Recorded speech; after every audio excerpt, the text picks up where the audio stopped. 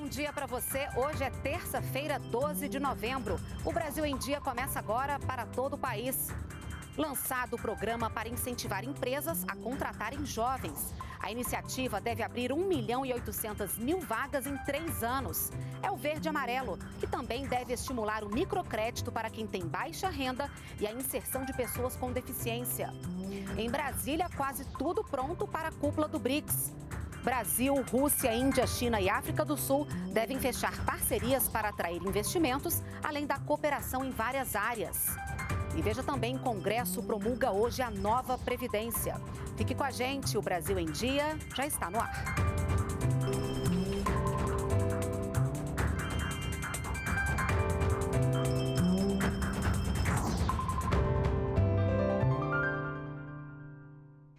São 9 horas e 45 minutos. Estamos ao vivo também pelas redes sociais.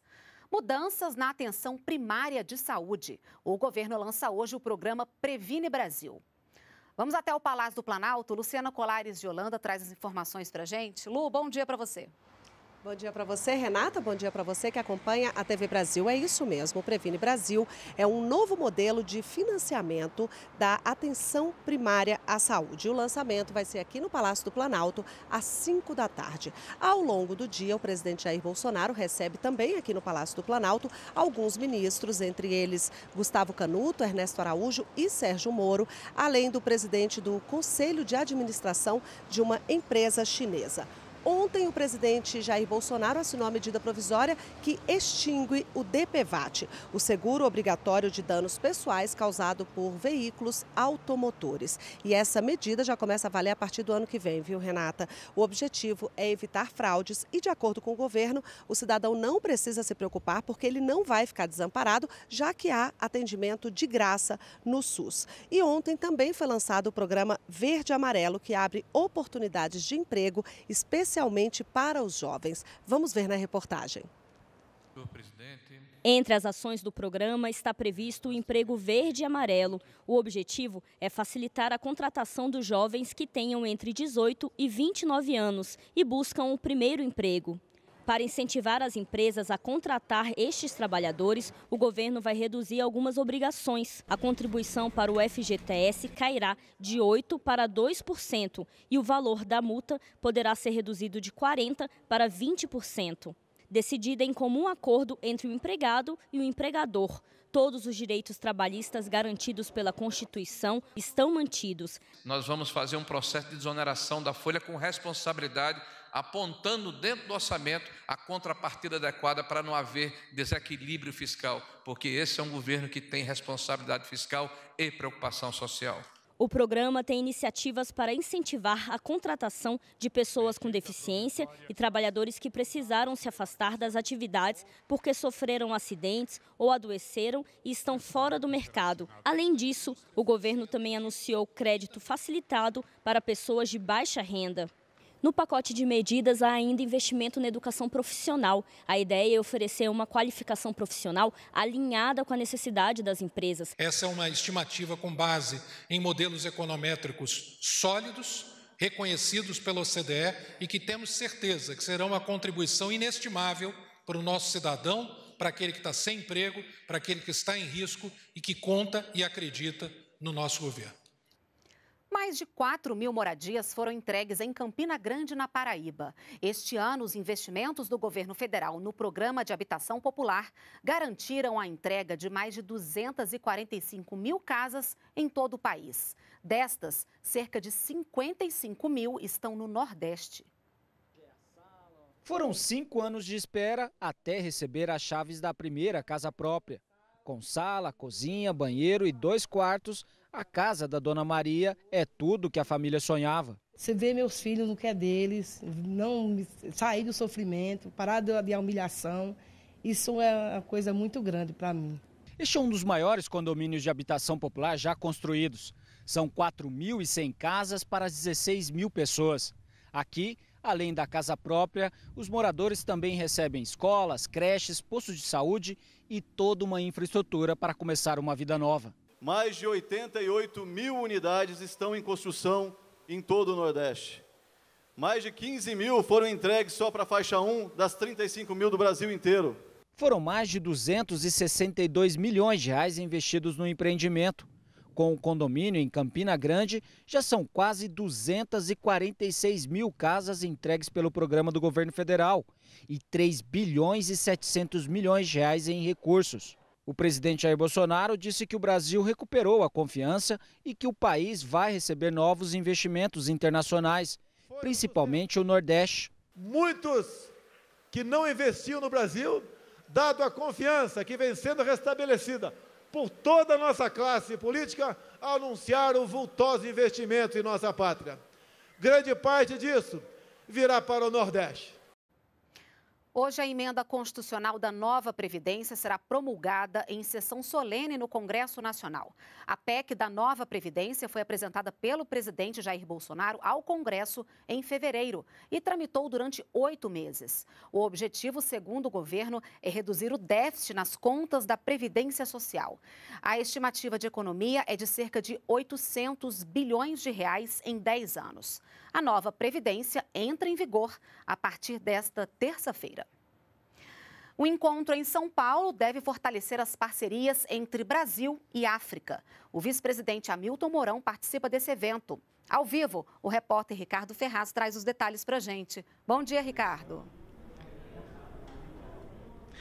Bom dia, Renata. Bom dia a você que acompanha o Brasil em Dia. Essa é a sétima edição do Fórum Brasil-África, que trata de possibilidades de integração entre o Brasil e o continente africano. Durante dois dias, cerca de 300 representantes de governos, organizações não governamentais, empresas, universidades e investidores irão debater essas possibilidades de estreitamento nas relações. O tema deste ano é Caminhos para o Crescimento com segurança alimentar. Os participantes estão particularmente preocupados com a ascensão da fome no mundo depois de um grande período de declínio observado pela Organização das Nações Unidas.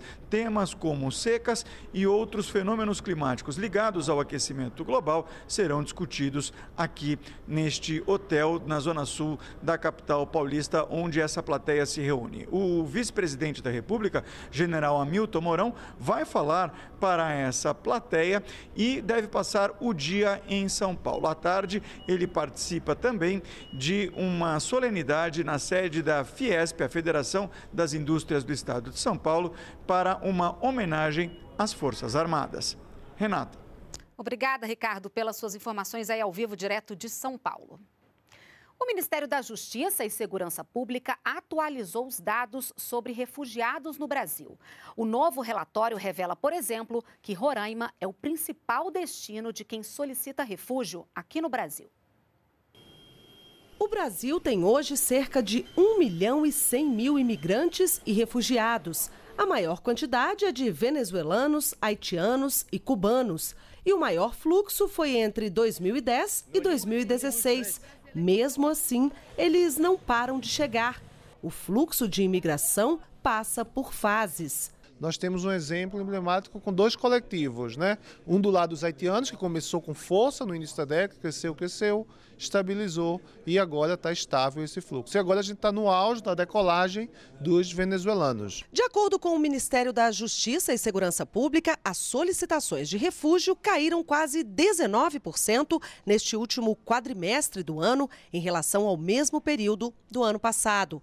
Roraima é o principal destino de quem solicita refúgio no Brasil. Em seguida aparece São Paulo e depois o Mato Grosso do Sul. O relatório divulgado nesta segunda-feira também mostra a movimentação desses imigrantes no mercado de trabalho brasileiro.